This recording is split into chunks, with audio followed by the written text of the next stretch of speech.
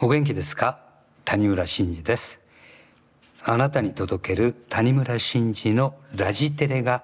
2021年から新たにスタートいたしました。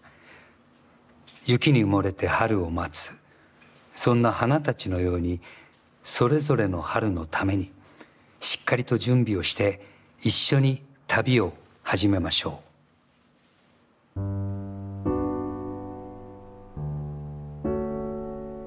さあ今日この記念すべき第1回目、えー、一つのテーマは「その日のために」という、えー、そんなタイトルを頭の中に浮かべました。その日のために準備をする。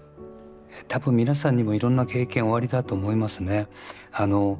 谷村の場合もそのコンサートに向けてリハーサルをしてまあ、構成を考えてリハーサルをしてっていう、えー、なんかそんないろんなことがその日のために向けて準備をしていくっていう、えー、それをしていることで、えー、だんだんその日に対するこう興奮とか期待が自分の中でも高まってくるっていう。えー、そんなために準備することっていうのは、えー、実はとっても大事だよねっていうそんなお話をしていこうかなと思います。人それぞれいろんなその日のためにがあって例えば来月のデートに備えてダイエットをする。20キロ。30キロ、えー、これはちょっと無理だと思います。1日だいたい100グラムずつぐらい。でもこれを地道に続けると1ヶ月も経てばかなり体重が減る。だからその日々の積み重ねっていうのがすごく大事ですよね。あるいは僕の友人でも一人いるんですけども次の健康診断に備えて食事をコントロールする。ものすごいコントロールするんです。まるで毎日がお坊さんのような生活をする。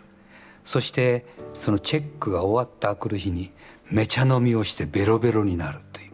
えー、こういう人物、えー、まあ破滅的な生き方をしている人物が、えー、音楽業界の中にもいるんですけどもでもあそれもまたあ一理あるかなと思います。あの大事なのはその日に向かってこう緊張感を高めていってそしてあるタイミングを過ぎたら今度はそれを解き放って緩めていく。張ってから緩める。実はこのルーティンがボケを防いでくれるそうです。だからぜひ皆さんも何かに向かっていく時は上手に緩急をつけながらその日に向かっていけばいいかなと思います。